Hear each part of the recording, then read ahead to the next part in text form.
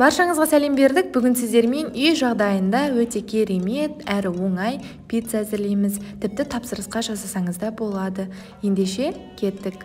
Електен өткізілген ұнымызға жылы сүт жылы су дрожь шекер тұз сұйық май. Барлығын жақсылап қосып жұмсақ қамыр илейміз. Барлығы граммен мен осы видеоның астына жазып кеттім рецепт бойынша жасайсыздар.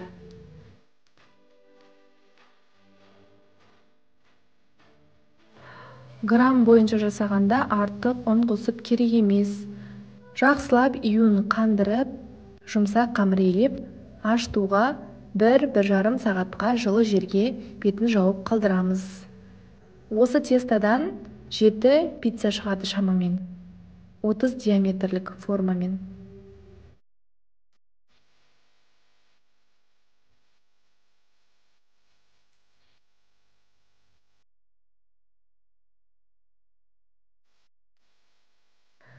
Енді қамырымыз ашығанша біз пиццаның соусын әзірлейміз.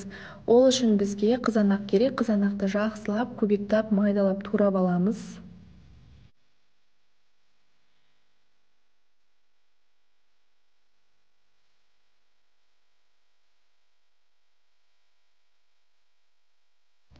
Орташа отқа қойып жақсылап араластырып тұрамыз. Осылай қызанақтың сөлі бөліне бастаған уақытта томат қосамыз томаттың ә, жақсысын сапалысын қолданыңыздар. Жақсылап араластырамыз. Енді үстіне бір шай қасық тұз саламыз. Бір шай қасық шекер саламыз. Жақсылап араластырамыз. Енді кориандр саламыз. Жақсылап араластырамыз.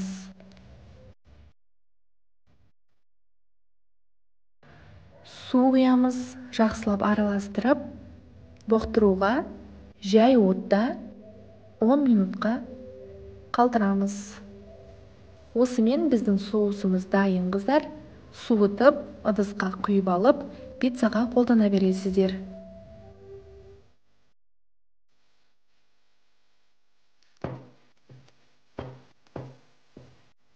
Мінекей қыздар біздің қамырымыз ашып дайын тұр екен. Енді арнайы бөліктерге бөліп қамырымызды дөңгелек етіп жайып шығамыз.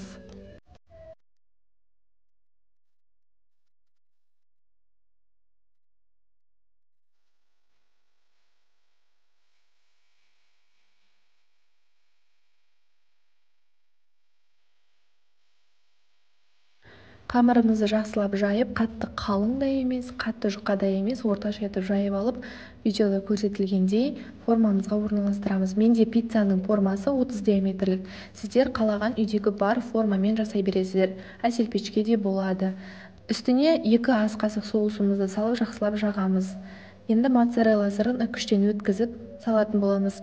Сырыңыз неғұрлым көп болса пиццаңыз сіздің соғұрлым созылмалы болып өте керемет болып шығатын болады. Өздеріңіздің қалауларыңызша кез келген колбаса түрін қолдансаңыздар болады.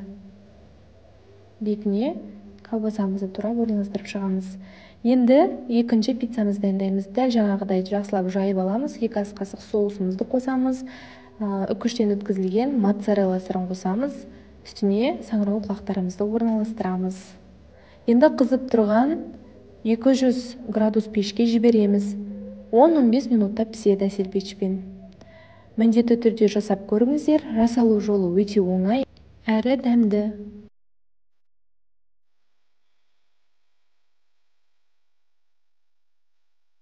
Каналымдағы басқа да видео рецепттерімді қарап міндетті түрде жасап ұнаса лайк басып пікір қалдыруды ұмытпаңыздар. Бұл менің каналымның дамуына жаңа да рецепттердің көптеп шығуына үлесі өте зор қыздар. Қоңырауды басып қойсаңыздар менің видеоларым сізге бірінші болып көрінетін болады.